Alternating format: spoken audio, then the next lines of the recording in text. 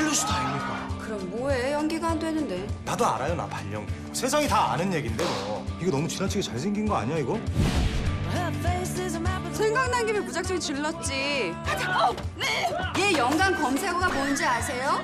연기 고자예요. 걔 유명한 변호사 사모님 됐잖아. 오토바이 정도는 훔쳐줘야 전설의 백설 아니겠냐? 혈액형이 뭐예요? 오형 별자리는요? 손금은 안 봐? 죄송합니다. 제가 아직 손금 공부를 안 해봐서.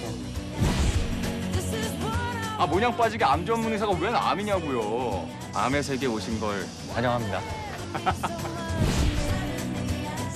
미친 거 아니야?